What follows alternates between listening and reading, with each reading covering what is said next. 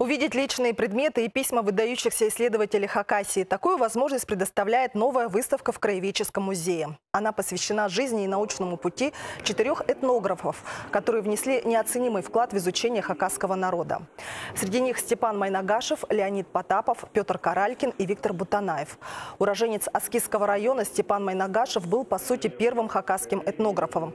Исследователи иногда в шутку называют первым свадебным фотографом Хакасии. Во время научных экспедиций от Русского географического общества он сделал уникальные фотографии старинных обрядов, таких как жертвоприношение, свадьба, похороны.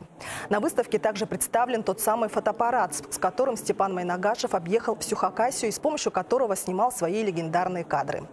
Еще один ценный экспонат – письмо профессора Виктора Яковлевича Бутанаева в адрес руководства Хакасского музея.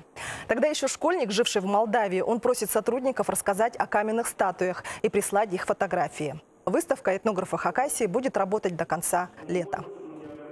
Спасибо всем этим исследователям, которые э, не только фиксировали традиции, но и собирали предметы материальной культуры, передавали в музей. И вот создание наших экспозиций по традиционной культуре хакасского народа – это заслуга как раз и вот э, этих этнографов.